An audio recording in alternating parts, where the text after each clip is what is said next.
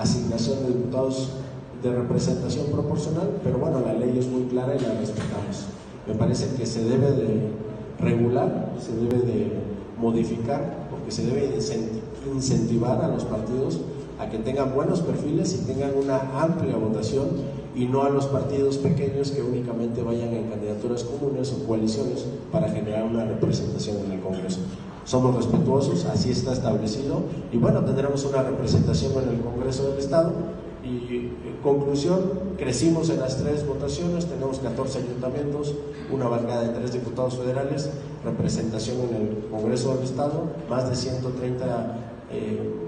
regidores. Y sin duda estamos muy contentos, somos el séptimo estado que mejor le fue en el estado al Partido Verde. Y seguimos esa misma tendencia, la tendencia que hemos tenido eh, que es hacia arriba, la,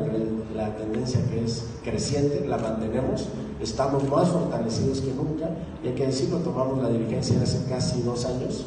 eh, por la pandemia no pudimos renovar en los 217 municipios, pero bueno, esta es la base del Partido Verde, estos son los militantes, era muy importante participar solos para saber de qué está hecho el Partido Verde y hoy nos damos cuenta que está muy fortalecido, que hay mucha gente